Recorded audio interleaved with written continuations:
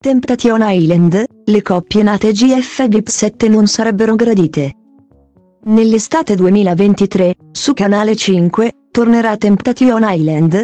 Stando ad una voce di corridoio arrivata da dietro le quinte e riportata dal settimanale Chi.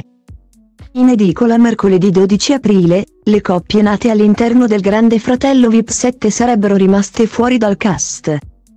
Pare che Maria De Filippi sia rimasta fedele al format del programma, ovvero quello di non inserire nel docu-reality show coppie formate da personaggi famosi. Nei giorni scorsi, si è parlato di una presunta partecipazione di Edoardo Donnamaria e Antonella Fiordelisi a Temptation Island. A quanto pare la coppia chiamata dai fan Donnalisi non sarebbe presente nel cast del docu-reality di Canale 5. Ma non solo loro, anche gli Oriele, Oriana Marzoli e Daniele Dalmoro, e gli Incorvassi, Edoardo Tavassi e Nicole Incorvaia, sarebbero stati scartati dal programma. Secondo quanto riportato da una voce di corridoio, le coppie nate al Grande Fratello VIP 7 non sarebbero gradite nel cast.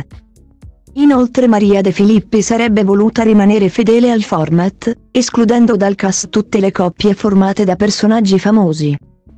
Al contrario, Filippo Bisciglia sarebbe stato confermato al timone del programma. L'esclusione da Temptation Island per le coppie nate al Grande Fratello VIP 7 si aggiunge ad altri rumor. Stando alle voci di alcuni addetti ai lavori, Mediaset starebbe cercando di dimenticare l'ultima edizione del reality show condotta da Alfonso Signorini.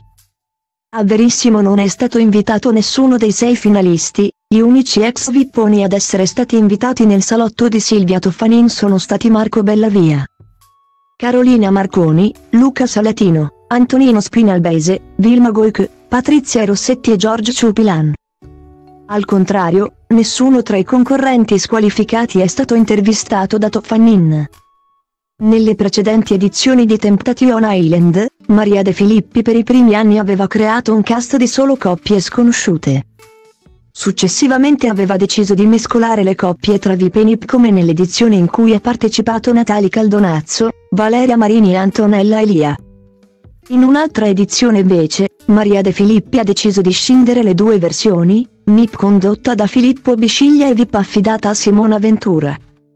La nuova edizione sarà formata da coppie sconosciute al pubblico del piccolo schermo. Dunque, i fan delle coppie nate al Grande Fratello VIP 7 dovranno rassegnarsi. Poiché non potranno vedere i propri beniamini alle prese con i vari tentatori e le varie tentatrici.